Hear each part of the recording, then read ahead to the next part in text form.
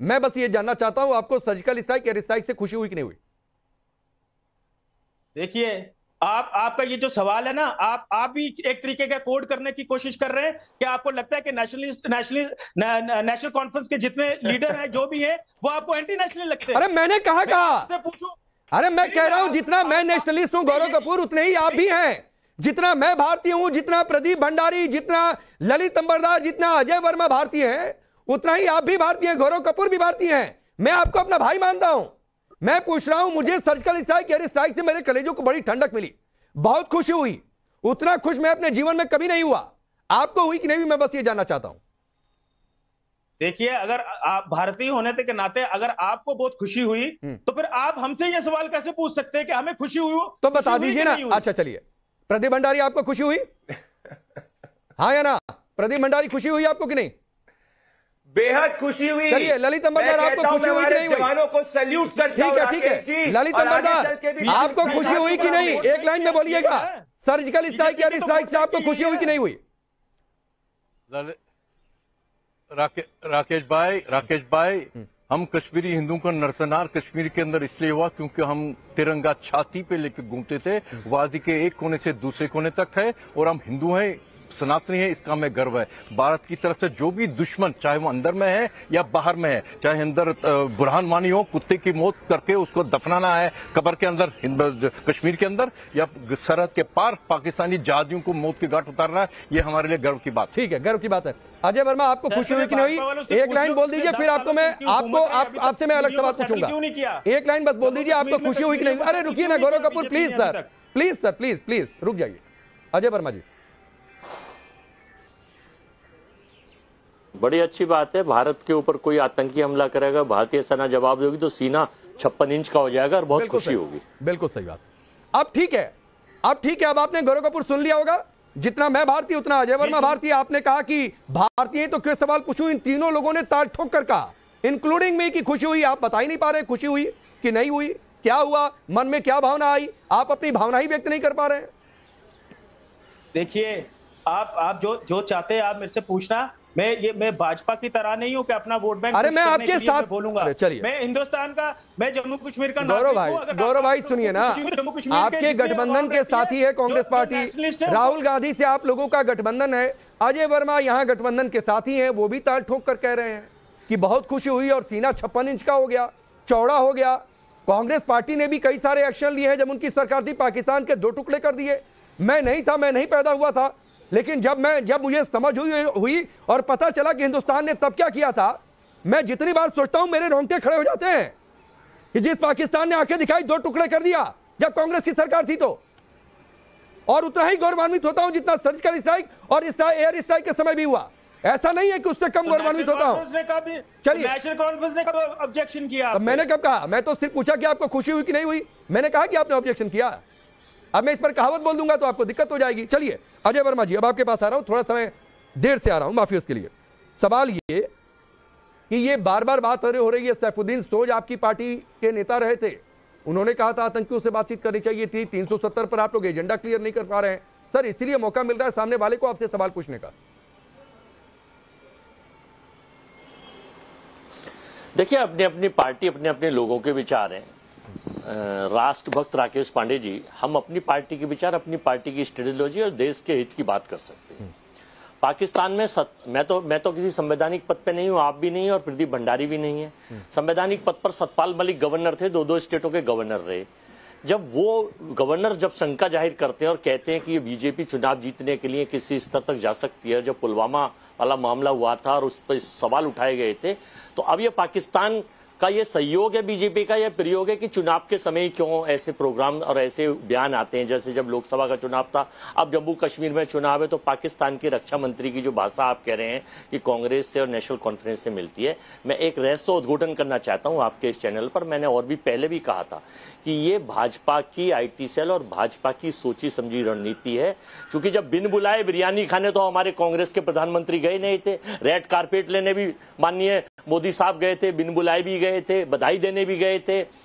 तो जब ये वहाँ बिन बुलाए जाते हैं तो इनका एजेंडा है कि पाकिस्तान से इनका कनेक्शन है और इसकी जाँच हो। हमने अपने हाईकमान से कहा है कि जाँच कराइए अपने तरीके से और इसके खिलाफ एक कार्यवाही शुरू करें कि देश की सरकार और पाकिस्तान मिले हुए हैं और जब चुनाव जीतने का मुद्दा आता है तो वो उधर से अपनी बयानबाजी करा देते हैं और उसका आरोप कांग्रेस पर और पार्टियों पर सारे विपक्ष पे लगा देते हैं। अरे ये- सिर्फ़ यही राष्ट्रभक्त हैं और सारे के सत्तर परसेंट लोग अजय वर्मा भी राष्ट्रभक्त हैं लेकिन आपने एक नई जानकारी दे दी।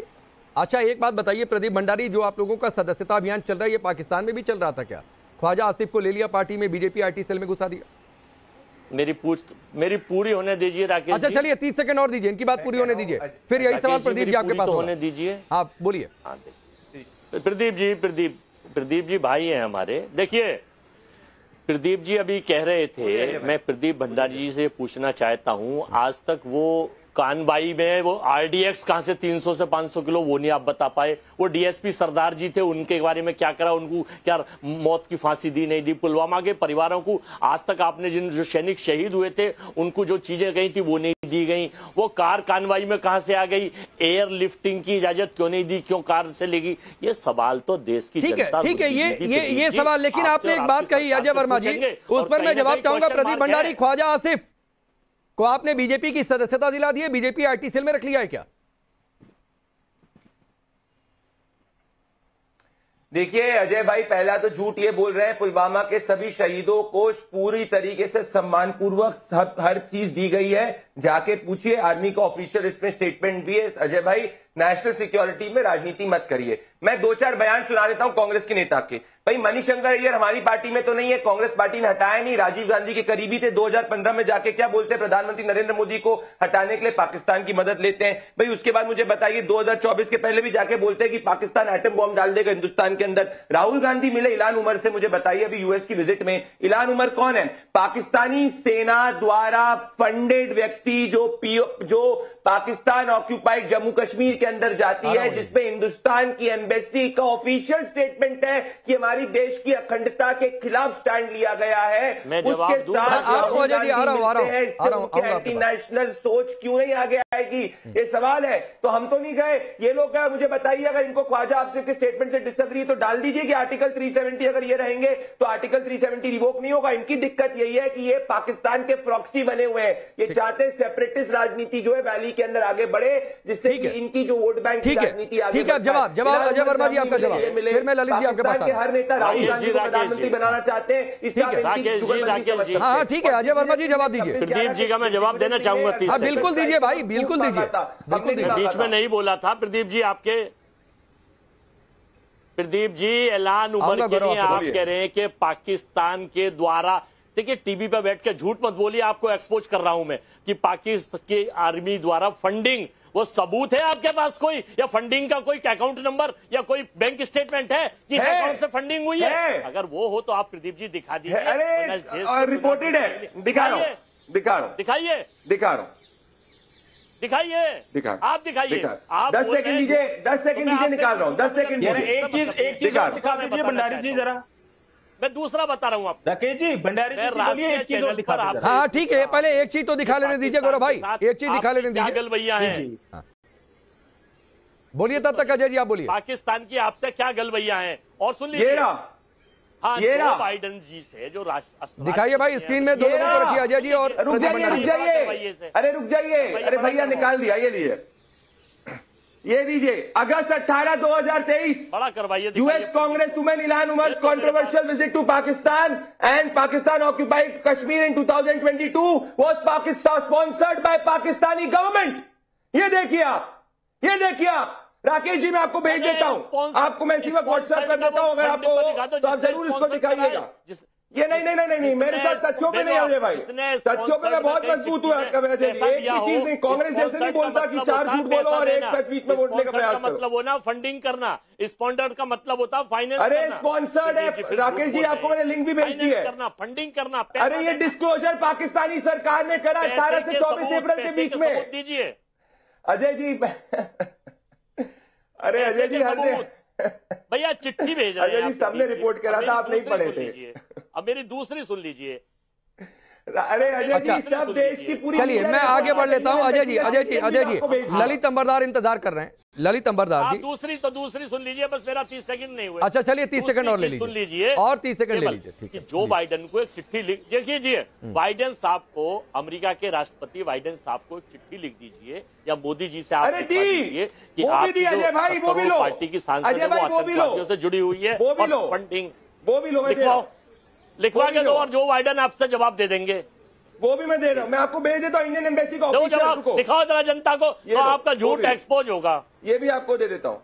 वो भी मैं दे देता हूँ। स्क्रीन पर दिखा दीजिए प्रदीप भंडारी दिखा दीजिए। मैंने आपको भेज दिया है आप अपने इसकी टाइम्स नाउ ने भी रिपोर्ट किया था।